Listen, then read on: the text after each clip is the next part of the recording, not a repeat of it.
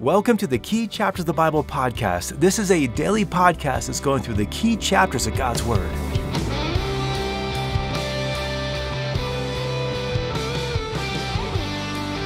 There may be times in your Bible study when you think you're walking on the moon, um, but just a little bit of explanation, you'll find out, no, I'm actually walking on solid ground. Ezekiel 37 is one of those passages where just a couple words of explanation suddenly just opens up a whole realm of exciting truth. And so I'm Russ Brewer, and you are listening to our study in the key chapters of God's Word. And today we are going to look at Ezekiel 37.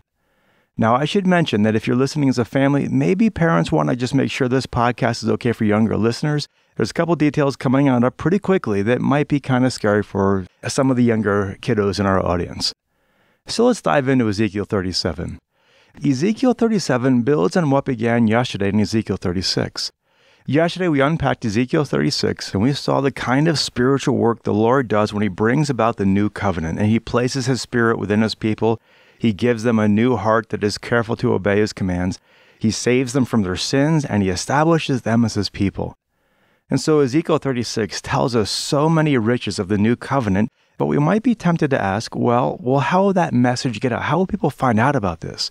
And that's a good question, and that's answered in chapter 37.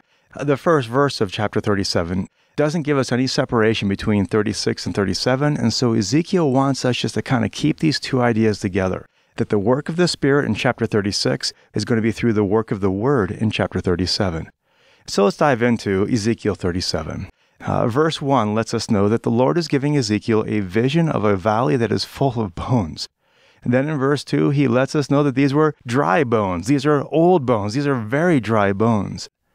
And so just pause for a moment and just picture this valley filled with sun bleached piles of human bones with no skin or sinew on them or anything else. This is pretty gross stuff. And then the Lord asks Ezekiel about the impossible in verse 3. He says, Son of man, can these bones live? Now, the obvious answer would be no, of course not. These are old, dry bones. Uh, whatever life was in them is long gone. But the Lord has other thoughts. And so in verse 4, he tells Ezekiel to prophesy over the bones. Now, remember, often that term prophesy in the Bible speaks to proclaiming the message of God.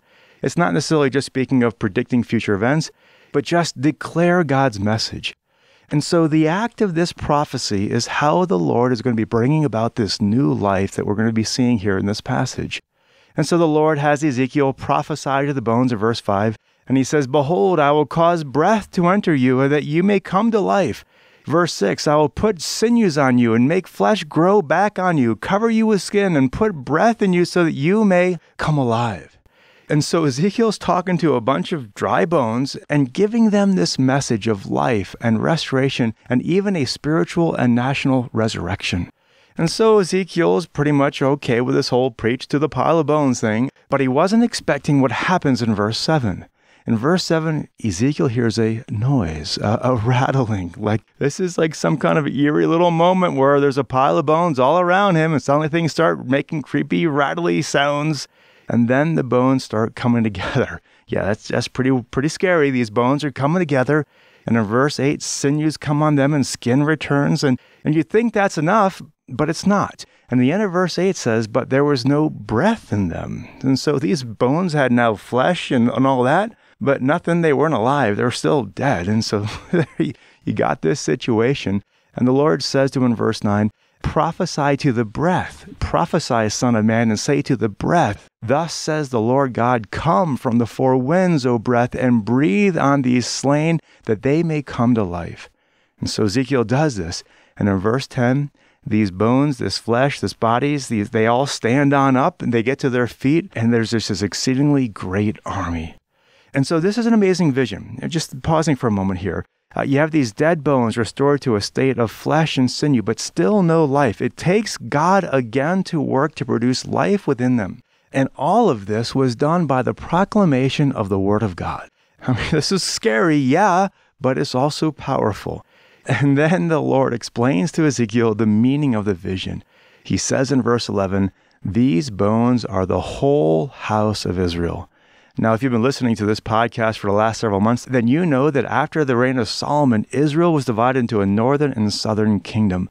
But here we see that in the plan of God, they'll be restored as one nation, and though they were cut off, God has a plan for them. And so in verses 12 and 13, God will cause them to come out of the grave and return to the land of Israel. In verse 14, God will place his spirit within them and give them life. This is just such an astounding message of hope. This resurrection of life that we're seeing here in chapter 37 comes about by the Holy Spirit through the proclamation of the Word of God. And so this is some great stuff. But God's illustrations are not finished in Ezekiel 37. And so verse 15 starts a new illustration that brings further clarity to this continuing promise to God's people. And so as we continue on in this chapter, the Lord tells Ezekiel now to take two sticks and write on one stick the name Judah and write on the other stick the name Ephraim and join them together and proclaim to the people, down in verse 22, I will make them one nation in the land, on the mountains of Israel, and one king will be king for all of them. And they will no longer be two nations and no longer be divided into two kingdoms. And so now we're seeing that this army of restored people will comprise all of the children of Israel. And not only that, they'll be ruled by the Messiah King. Verse 24 goes on to say, My servant David will be king over them, and they will all have one shepherd, and they will walk in my ordinances and keep my statutes and observe them. And so now this prophecy that we're reading here in Ezekiel 37 dovetails perfectly with what we've been learning about from Jeremiah 31 and Ezekiel 36 about the new covenant. God will give his people a new spirit and a new heart. He will place his spirit within them. He will write his law in their heart, and he will give them his servant as their Messiah king. And then at the end of verse 24, they will walk in his ordinances and keep his statutes and observe him. And so these people, of, of all the people in this world, these people will be the ones who walk according to God's principles and obey Him.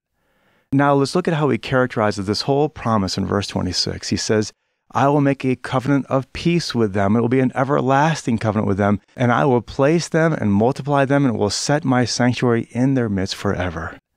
Notice that verse 26 says this is an everlasting covenant. Now, in a way, this is not a new idea. I mean, after all, the Abrahamic covenant was called an everlasting covenant, Genesis 17:7.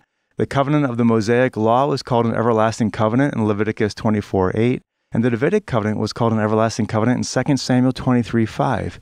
But now we see that these covenants are kind of like rivers that merge together and become this one new covenant here, this everlasting covenant that pulls together all of God's promises for the land, the people, for their own righteousness, and for this eternal Davidic king. And so, this new relationship with this unified nation of Israel is one of this new covenant. It's a covenant of peace where God's people will have peaceful harmony with Him and with one another. And so, in verse 27, he says, My dwelling place also will be with them, and I will be their God, and they will be my people.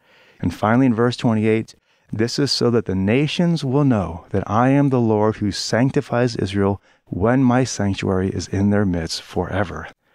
So that's Ezekiel 37. Now, pulling this chapter together, through the prophet Ezekiel, God is telling his people that he still has a future plan for them. He is not done with them. He will take them from the nations and restore them to their land. And when he restores them, they will be one people, one nation under God. This work will be accomplished by the faithful proclamation of the Word of God.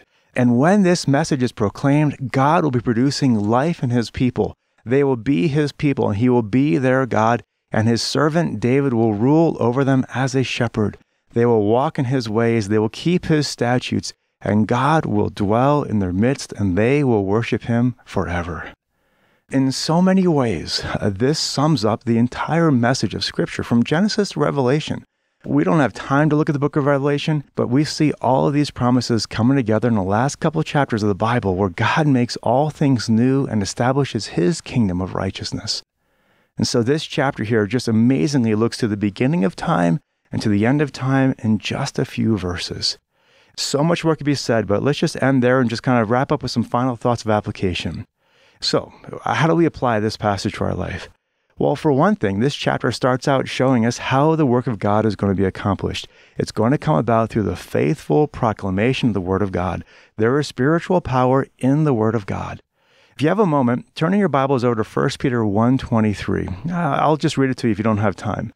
1 Peter 1.23 says, For you have been born again, not as seed which is perishable, but imperishable, that is, through the living and enduring Word of God. That's a similar idea as James 1:18, which also says, "In the exercise of his will he brought us forth by the word of truth." You see, these New Testament authors recognize that anyone who would accept this new covenant did so by the power of the Word of God. When God brings new life into a person, it is by His Word and through His Word. In other words, it is by His commandment and through the proclamation of His truth that the Holy Spirit creates life in the hearer. And when God creates life within us, we're going to hear the message, we're going to believe it, we're going to respond appropriately and embrace Jesus Christ as our covenant king. And now try for a moment to just imagine how Ezekiel would have been doing this with this valley of this dry bones here. God wanted him to prophesy over what seemed to just be this pile of dead bones. But what appears to be dead to us may be something or someone that God has a plan for. And so Ezekiel was faithful to speak God's word to what seemed to be dead. And, and like him, our job is to be faithful as well and to proclaim the word of God clearly and accurately and with conviction no matter how responsive or unresponsive our hearers are. Our success as God's servants is not based on a response of the people, but our faithfulness to the Word of God.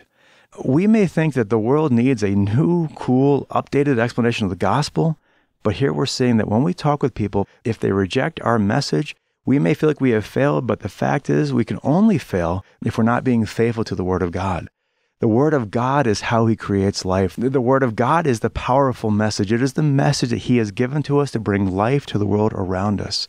And so our message must center on this idea of inviting people into covenant with God where we might join together with His people and wait for His return when He establishes kingdom.